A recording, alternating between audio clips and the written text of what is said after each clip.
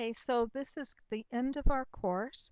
And the last thing I want to show you is how to um, understand color separations. And the best way I can think of to do it, other than taking you down to a print shop and showing you exactly how they do it, uh, which I have to tell you is not a bad idea. You really should ask your printer for a little demonstration of how the presses work and how they make separations. It'll be a wonderful education for you. So to begin with, what I'd like to do is have you make a rectangle and a square would be nice. So hold down your shift key and if you don't have your swatches open, please open them now. And we'll do a cyan first. And it's okay if it has a black stroke on it. Okay, so let's take this, overlap the first rectangle you made. And there's a reason I'm asking you to do this. And let's make the next one magenta. And let's repeat that, but this time let's make this yellow. And let's repeat that again but this time let's make it black. Okay, so now we have cyan, magenta, yellow, and black. Let's select these and let's go to the, oh, let's see, where is that? Um, the separations preview. Okay, there it is. Okay, so let's go to Overprint Preview. Okay, all right. First thing let's do, let's turn off everything but one color. Okay, and deselect.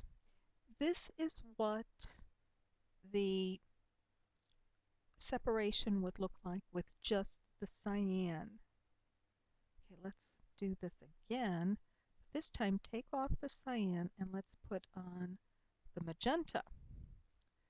You see, remember we overlapped, so what's ever on top will be there and the other color knocks it out.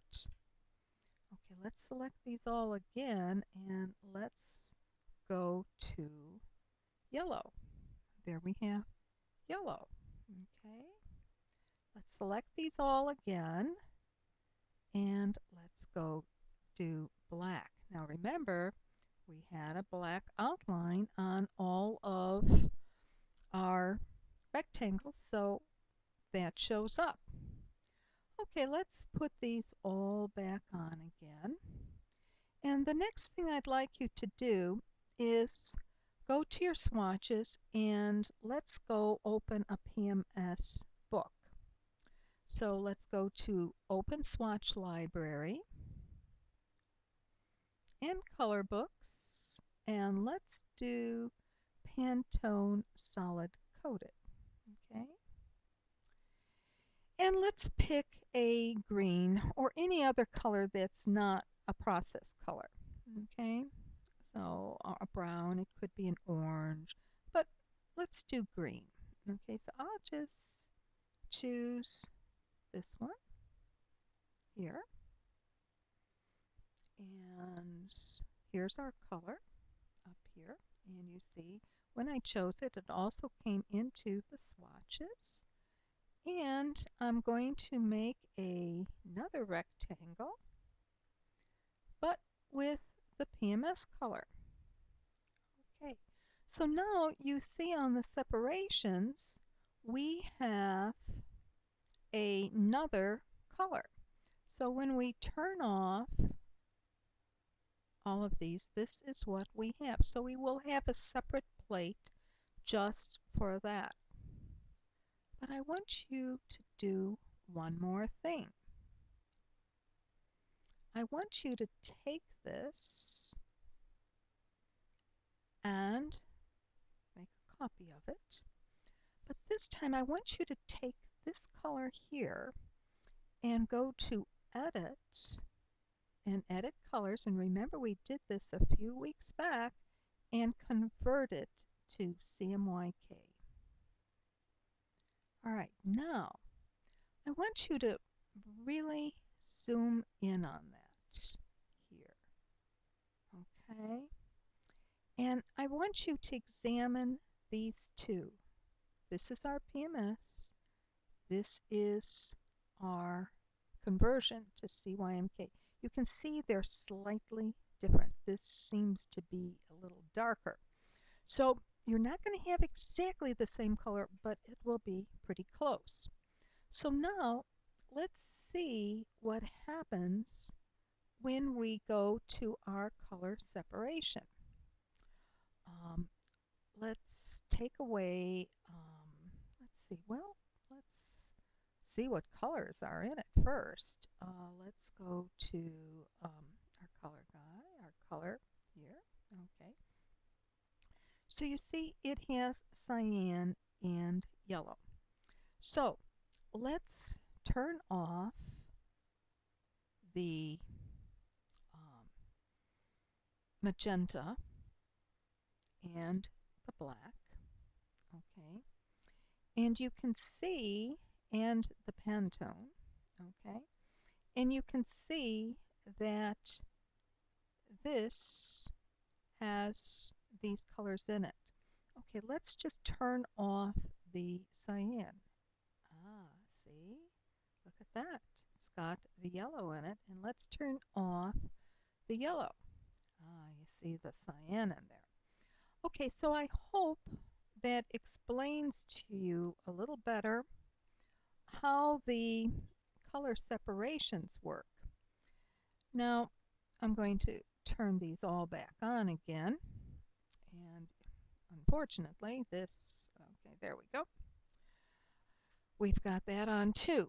So when you go to print, you go to File and Print.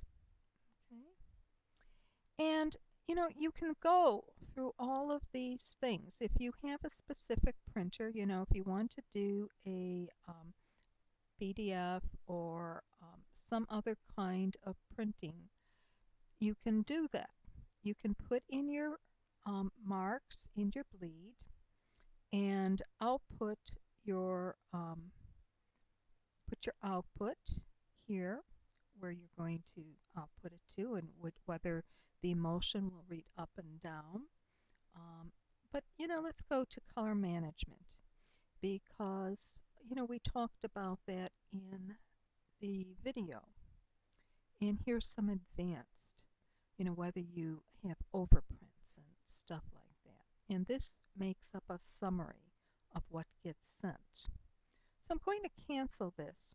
And one other thing I want to show you um, I looked all over and could not find a um, register mark for um, Adobe.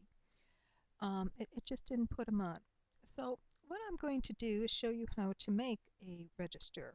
So you take off your fill here and just have your stroke. And I'm going to make a small circle. Okay.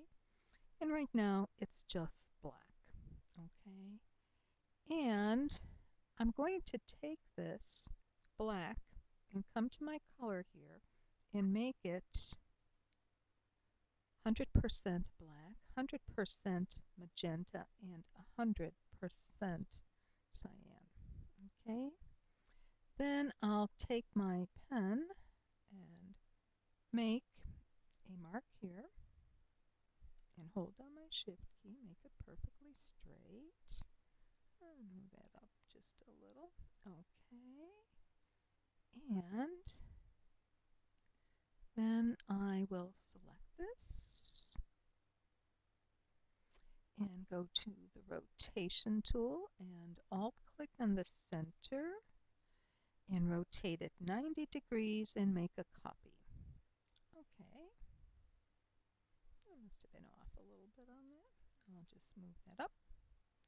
Okay, so there is a register mark, and each of these has 100% each of cyan, magenta, yellow, and black in, in them.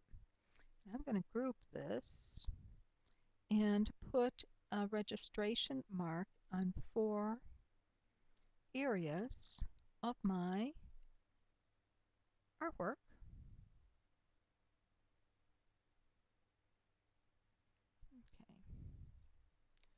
Okay. And now, watch. When we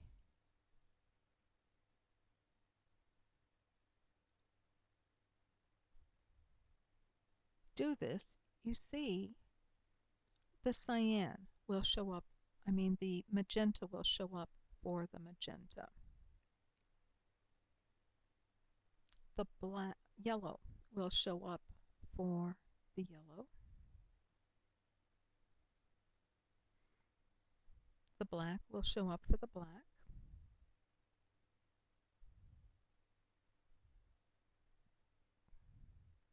And the cyan will show up for the cyan. So I hope this helps, and I hope you know you can always email me if you have a problem. So thank you, and goodbye, and good luck to you.